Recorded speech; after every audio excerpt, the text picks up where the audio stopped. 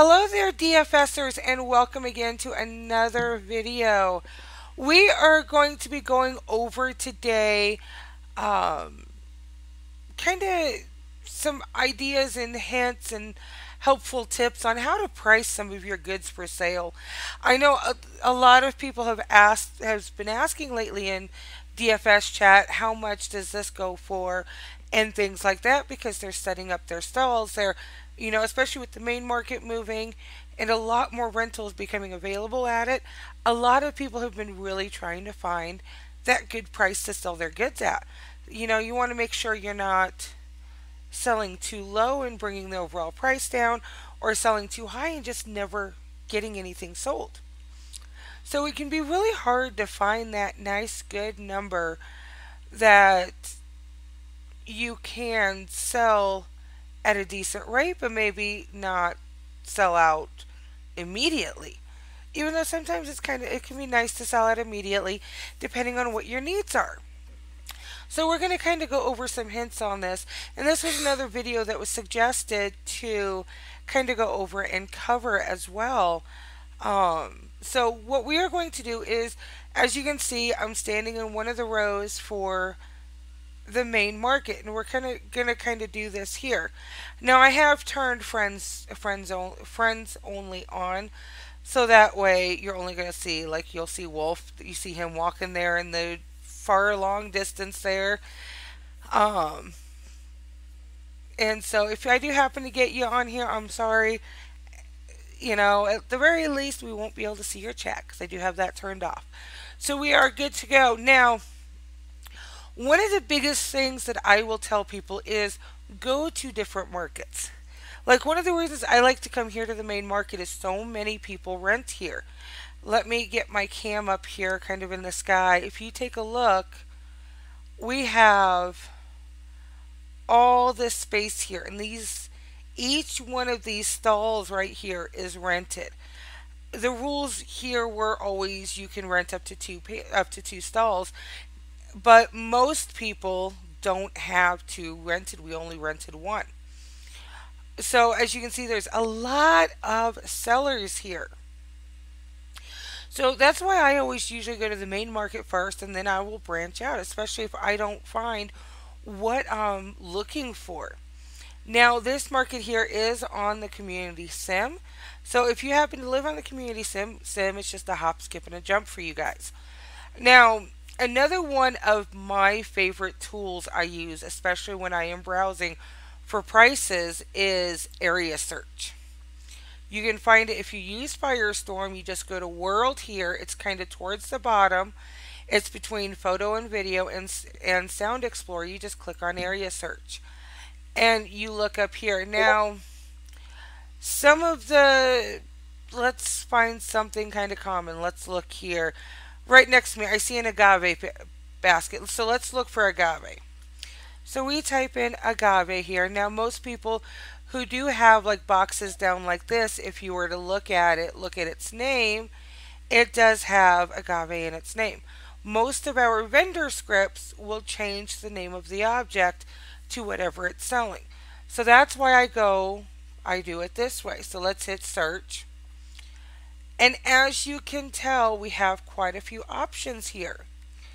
So what we do is we right click, we're going to use the first one, we right click and click zoom to. So I always minimize and let's take a look here. We'll go here. So for instance, they sell theirs for 5Ls. As you notice, the one store right here that we're sitting by, again, 5Ls. So, so far, at least with two, two vendors, we are seeing a sell price of 5. Some of the scripts will put the price here in the description. So like we see this basket here is 5, this basket here is 5. Let's go to this, that's apple.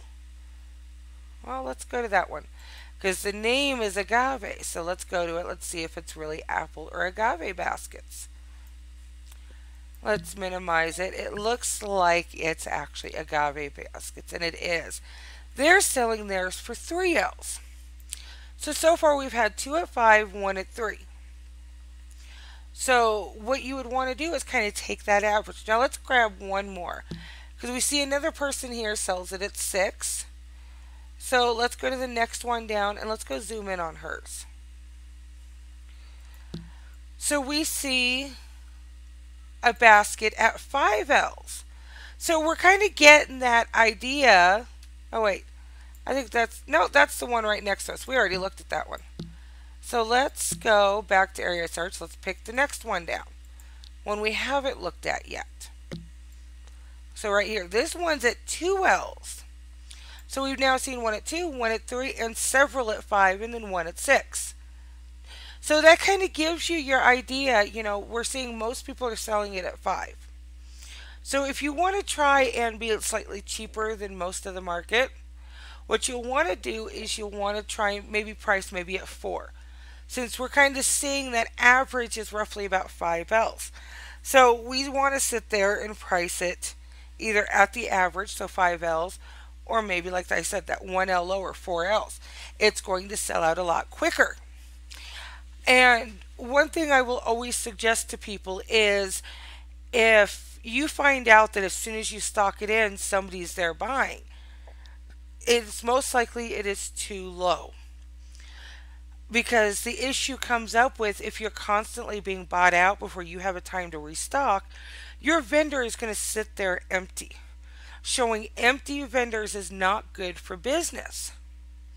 More people shop at places that constantly have their vendors filled, even if they have to spend an extra L or two, than having to constantly shop around and find places that have that item filled for a, few, uh, for an L less or two.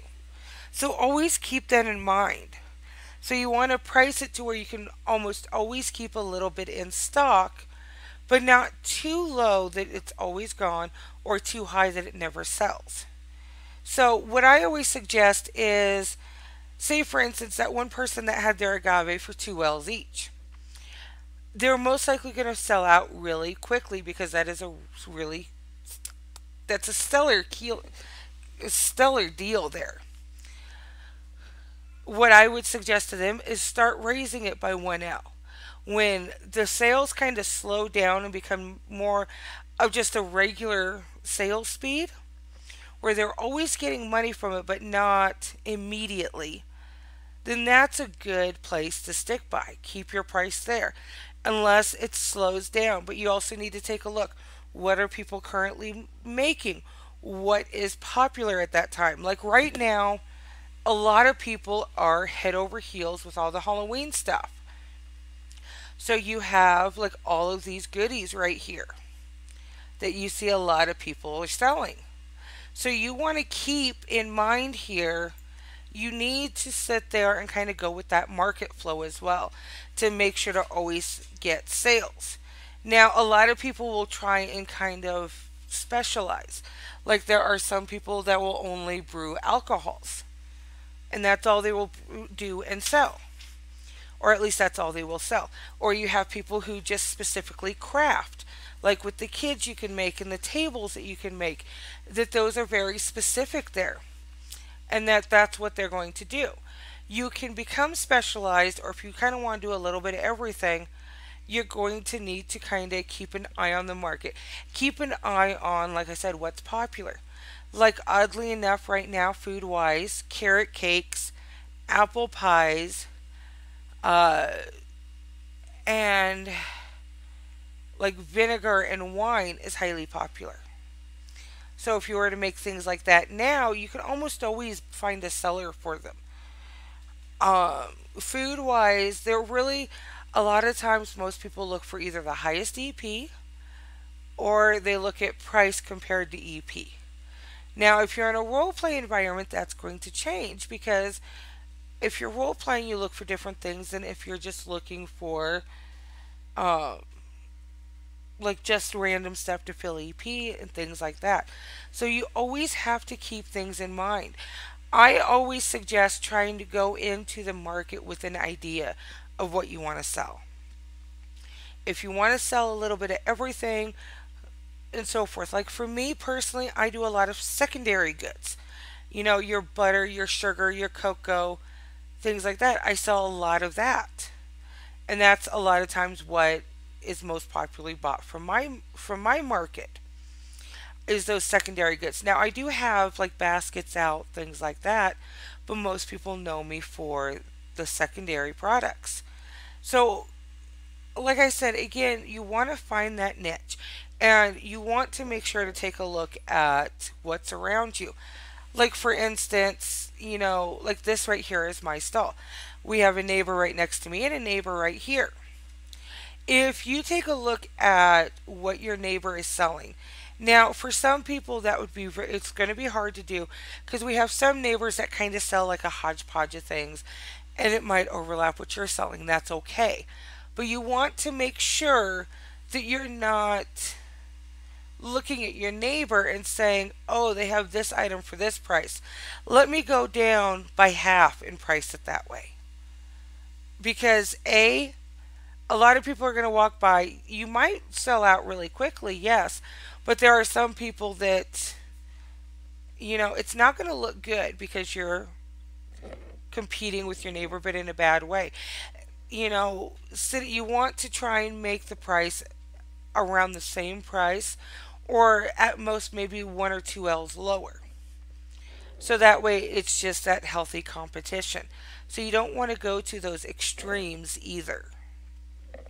So a lot of our buying and selling is going to be etiquette in that. And one thing I've noticed a lot going on in chat is people complaining about others selling too low. Now you have to remember with DFS with our secondary markets and that even with like our main the main market here or it is supported by and owned by DFS themselves the owners of DFS do not regu- regulate the prices on the secondary market. It is effectively an open market.